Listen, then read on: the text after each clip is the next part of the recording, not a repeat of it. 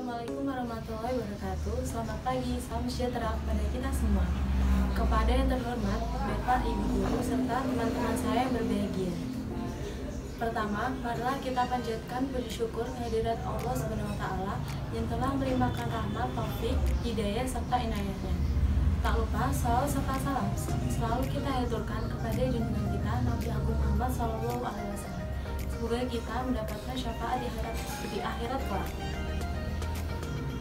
Alhamdulillah saat ini kita masih bisa diberi kesehatan sehingga kita dapat melangsungkan kegiatan yang menurut saya sangat penting bagi keberlangsungan rencana kita ke depannya. Topik yang akan saya pilih pada pagi hari ini yaitu mencintai produk lokal made in Indonesia. Mengapa saya memilih topik ini? Karena menurut saya topik ini sangat menarik untuk dibahas. Selain itu, juga penting bagi kemajuan bangsa ini. Hadirin, di masa yang semakin modern ini, perdagangan bebas sudah semakin meluas dan hal itu bisa berpotensi untuk masuknya produk impor ke Indonesia. Lalu, mengapakah kita harus memilih dan membeli produk lokal? Dari survei mengatakan bahwa penopang terbesar perekonomian Indonesia berasal dari sektor UKM atau usaha kecil menengah, di mana hal ini didukung oleh pemerintah supaya cepat berkembang. Jadi, kita harus bangga memakai produk dalam negeri karena produk dalam negeri kualitasnya jika kita mendukung dapat bersaing di pasaran bebas. Oleh karena itu, marilah kita bangga terhadap produk dalam negeri. Mengapa kita harus membeli produk impor sedangkan produk dalam negeri masih ada dan masih bisa diproduksi? Kita harus bangga terhadap bangsa ini yang keunikan dan kecantikannya diakui oleh dunia. Sebagai contoh batik, batik merupakan pakaian yang saat ini mulai digandrungi oleh dunia fashion di dunia. Keberadaan batik saat ini mulai diperhitungkan keberadaannya sebagai pakaian yang modern dan bisa digunakan dalam kehidupan sehari-hari. Kita harus bangga memakai batik. Sebagaimana negeri kita Indonesia yang sudah ditetapkan oleh UNESCO sebagai pakaian yang dapat sebagai negara dengan sumber batik pertama di dunia. Jadi kita harus mengaplikasikan batik ke dalam kehidupan sehari-hari. Jika perlu, kita dapat berinovasi supaya batik lebih cepat berkembang ke depannya. Kita adalah generasi muda penerus bangsa. Di tangan kita, semuanya akan berkembang bersama-sama. Yang kedua, ialah bahasa dan budaya.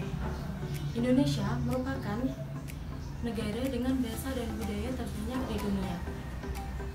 Oleh karena itu, janganlah kita meremehkan budaya lokal, karena kita adalah bangsa yang berbudaya semuanya. Bahasa merupakan lambang diri kita. Kita bisa belajar bahasa daerah selain bahasa Indonesia sebagai bahasa persatuan. Yang ketiga ialah melimpahnya hutan, alam, serta hewan yang beragam dan melimpah. Ada pepatah mengatakan bahwa dengan melampangkan datang di tanah kita, kita bisa memetik hasil pangan dari situ. Ini merupakan lambang kekayaan tanah air kita.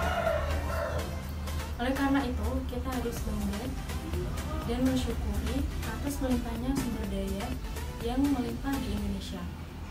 Hadirin, mencintai produk lokal merupakan suatu keharusan.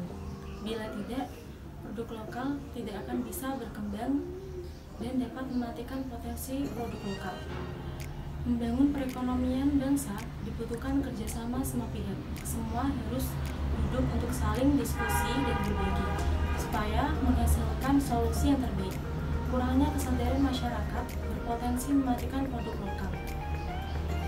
Dan hal ini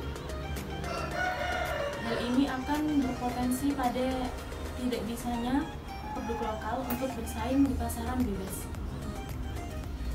Indonesia merupakan negara dengan jumlah penduduk terbanyak dan ini merupakan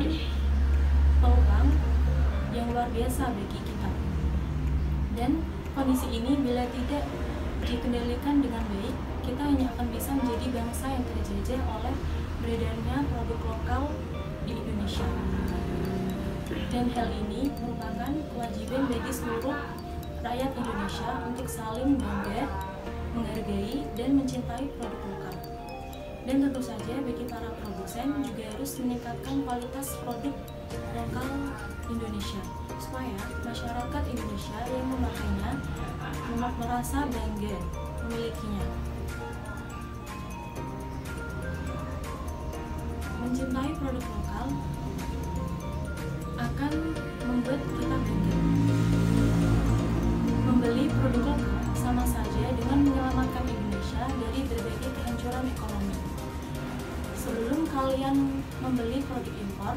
janganlah dibeli jika produk tersebut tidak terlalu dibutuhkan dan masih ada dan masih bisa diproduksi di negeri ini.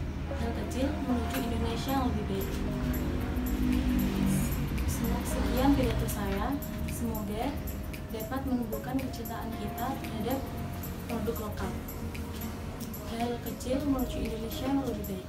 Kalau bukan kita, siapa lagi? Cintai produk lokal 100% Indonesia. Sekian pidato dari saya, semoga bermanfaat. Sore hari perhitungan ditemani dengan semangat.